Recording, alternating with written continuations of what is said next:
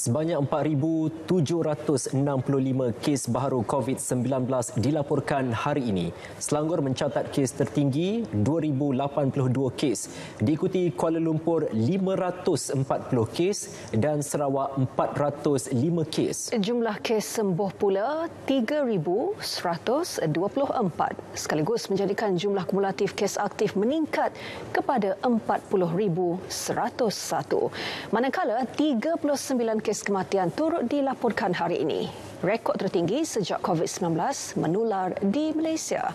Berikut statistik harian COVID-19 dalam negara diikuti jumlah kes mengikut negeri.